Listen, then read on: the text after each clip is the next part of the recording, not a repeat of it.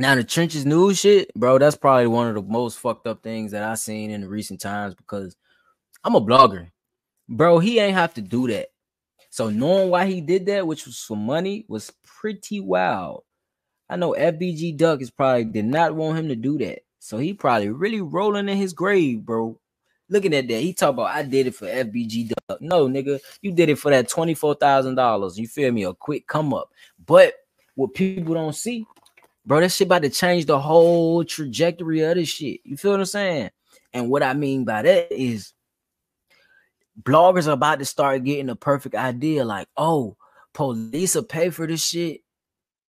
They'll pay for the information that I learned on the back end. All I gotta do is testify.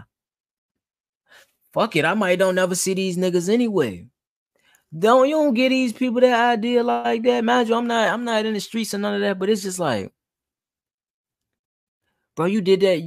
What happened? What about your moms and shit? What about your family? What about your brothers? What about your if you got kids? Like you putting all them in harm's way for a quick payday, a quick come up.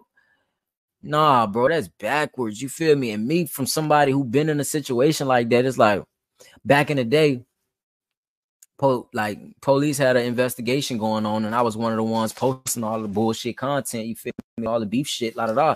So they ended up sending me a cease and desist letter for my page. You feel what I'm saying? Luckily, everything didn't go through, and of course, I combated it because I don't even live in Virginia and I don't know these people by their names and shit like that. So it's like you can't, you can't, even though you may send a cease and desist, we can combat it. Also, I'm a legally owned br- uh, brand and LLC. You feel me? So it's like you can't make me be affiliated with people I'm not affiliated with, if that makes sense to y'all. You know what I'm saying? So it was the combat. So all I'm saying is Trenches News, he didn't have to do that. He did that for personal gain. You feel what I'm saying? Like hundred percent personal gain. And I just feel like not only did he devalue his brand, but he devalued the culture in Chicago because it's showing how niggas really can get caught up just by being on social media.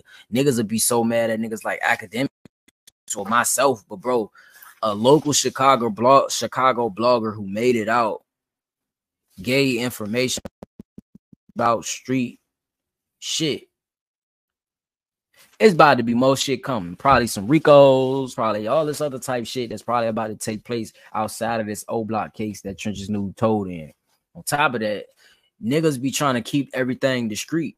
You feel me? Man, nigga, nigga, you trying to keep your face discreet, bro. They got yearbooks, they got news articles, they got this, they got that, bro. They know your name. You feel what I'm saying? All they gotta do is look up your name and find out whatever they want to find out. And bro, your face is out there. So wearing a ski mask is not gonna hide the people from knowing who you are, bro. We know who you are. We know what you look like. We just gotta look it up. You know what I'm saying? Period. Young is going to go hella interviews. So you really put yourself your family, your people in harm's way for $24,000, you a popular YouTube blogger. You could have made that probably in two months or a month. A good month, you could have made that. So me, nah, I don't agree with that shit at all. Like, I ain't saying ah something wrong with him, but bro, nah, bro. Nah, bro. Like I said, someone who been in a situation like that with any type of federal investigation, it's like, nah, he went out, he went out bad for that. He went out super bad for that one. I just don't own. Nah, nah. That was that was bad. That